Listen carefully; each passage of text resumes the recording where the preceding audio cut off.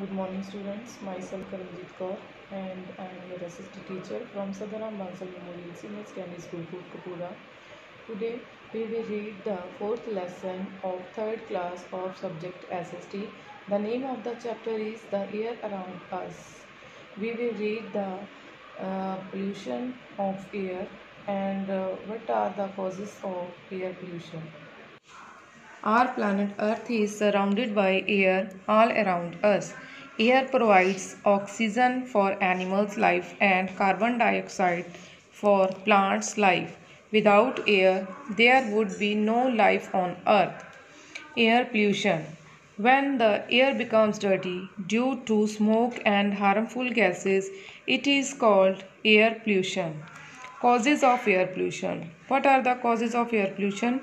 Smoke emitted by factories and plants like thermal plants, vehicles on the roads burning huge amount of fuel. This is also causes of air pollution. Burning of coals, kerosene oils, wood for householding fire. Use of pesticides and fertilizers in farming. Bursting of crackers is also causes of air pollution. Harmful effects of air pollution. Number 1. It is damage to our breathing system. Number 2.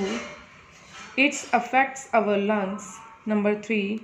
It's damage the environment. Number 4.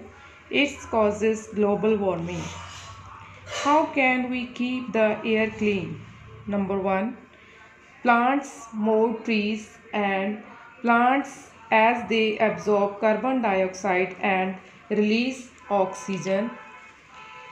Don't burst crackers on Diwali or on any other celebration.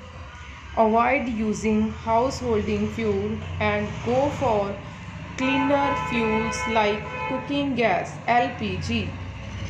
Recycles papers and plastics say no air pollution.